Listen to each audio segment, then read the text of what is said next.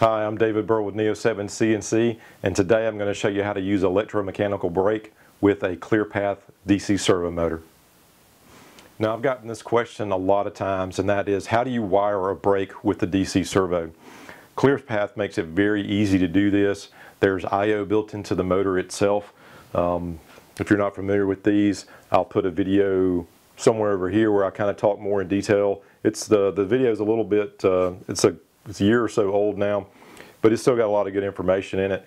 And I've kind of fallen in love with this technology because it's just really easy to use, really easy to tune, which was a big thing in the beginning. It, it wasn't so easy to tune these motors for your specific application. That process has gotten far easier today and much less intimidating.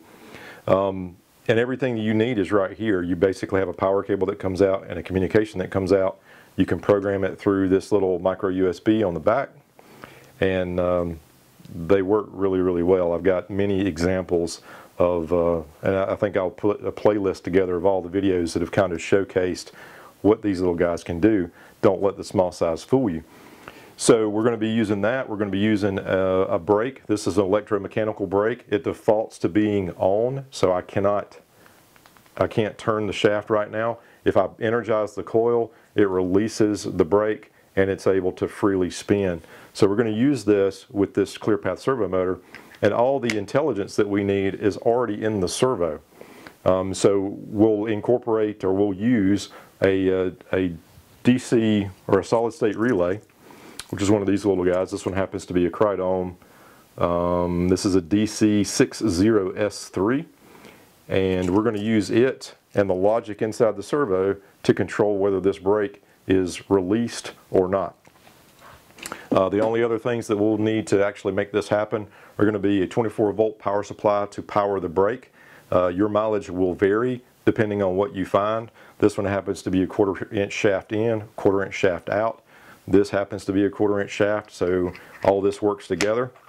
And then I have a coupling that I will use to connect it to the linear actuator that we'll kind of test this with. Um, so all of these things go together like so, and you have a linear axis uh, with a brake incorporated. So if this is a z-axis, for example, like um, on my both of my CNC machines, I'm using a KR33 linear actuator for the z-axis. So my spindle is actually riding on this uh, linear bearing right here that is being driven by this ball screw.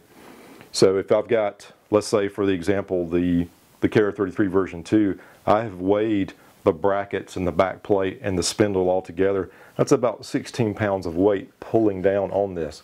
So even with the mechanical advantage of this finer pitch ball screw, if this motor loses power and it errors out, this is going to drop like a sack of rocks.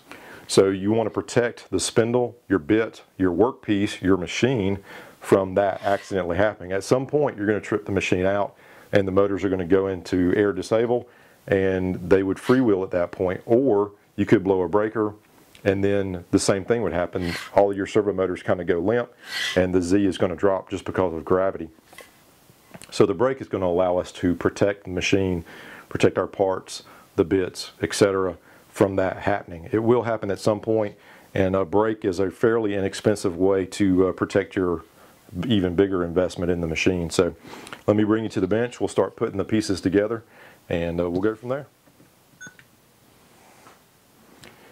All right, so very quickly the wiring.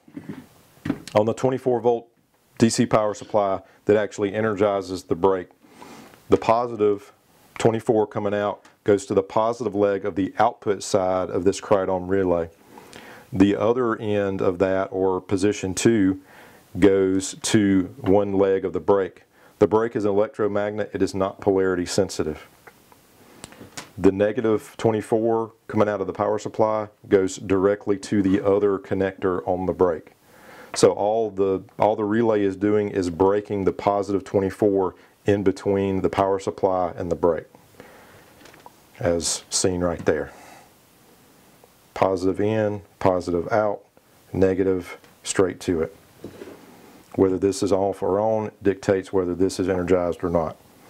All right, on the logic side, so we've got positive 5 volts coming out of this 5 volt DC power supply, it goes to the positive leg of the input side, which is position 3 on this particular relay. Again, this is a DC60S3 Crydom solid state relay. The other side, or in this case the, let's say the negative side of the relay, which is position 4 as this relay is labeled, that goes to the green wire on the input output cable from the ClearPath servo motor. The other side of that is the red wire and that red wire feeds straight back to negative 5 volts on the DC power supply. And it's that simple. I didn't have to go in and program anything on the servo motor. This is the, the default setting for this, this wire pair on this system. So that is it really it really is that straightforward so let me put it together in an axis format and we'll kind of see it in uh, real life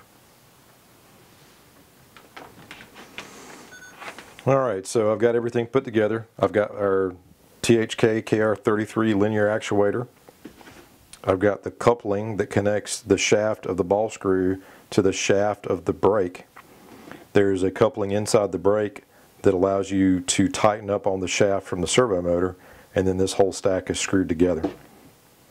So right now it is disabled. So if we look at the back, we've got an amber light. By default, the brake is on, so I cannot, and you hear that positive click right there, that's the brake not allowing the shaft to spin.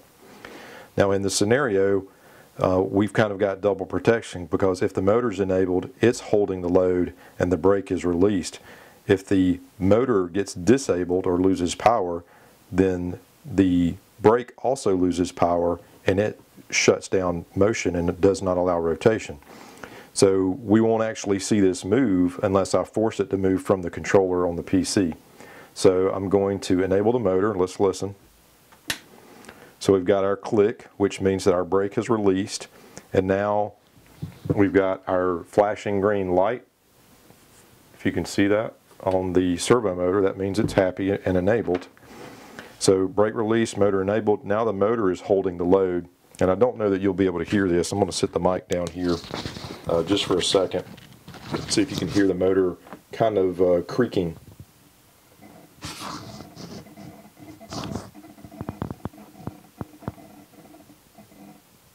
and that's it uh, kind of fighting against me or pushing against me because it's wanting to maintain the position of the, the truck on the ball screw now because it's not being told to move.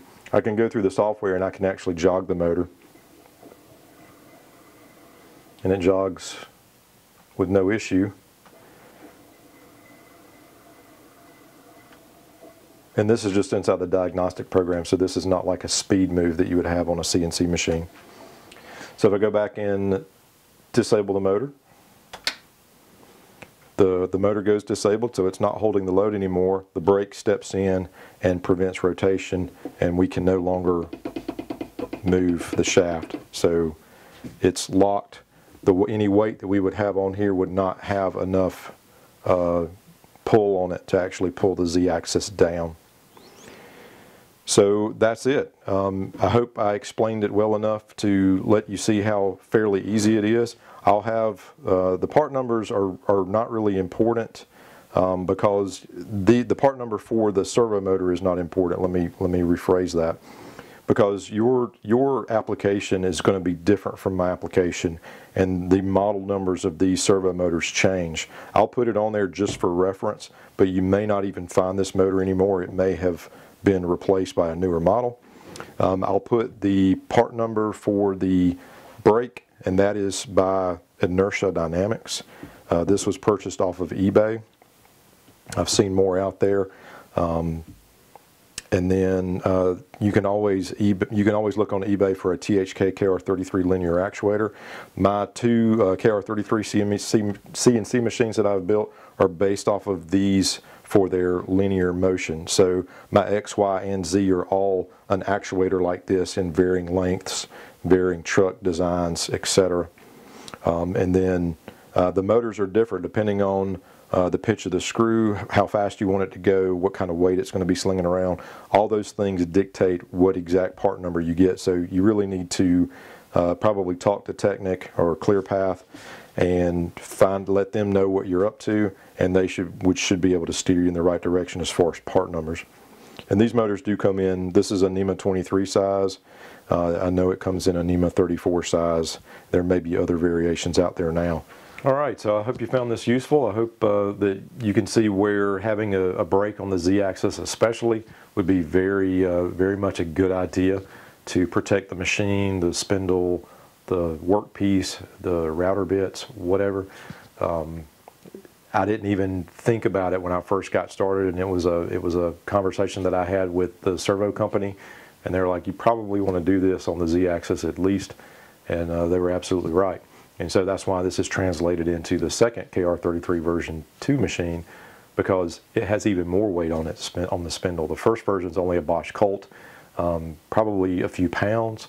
Uh, this newer version has a full 2.2 kilowatt water cooled spindle on it, and the whole z-axis weight that's hanging down on the servo motor is 16 pounds and some change. So it's a lot of weight.